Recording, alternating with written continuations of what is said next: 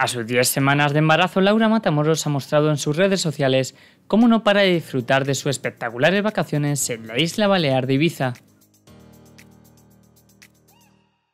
La influencer ha mostrado durante estas jornadas cómo tiene tiempo para todo, así como para disfrutar plenamente de las instalaciones en las cuales se aloja estos días.